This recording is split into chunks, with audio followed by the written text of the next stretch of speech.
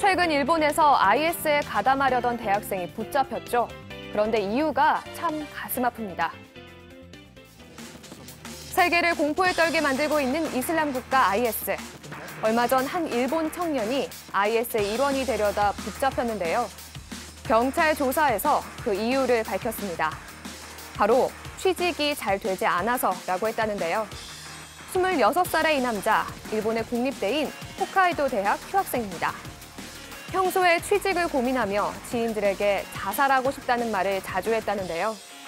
명문대 출신도 취직이 어려운 현실. 자살보다 테러리스트가 되는 게 낫다는 그의 선택이 참 씁쓸하네요.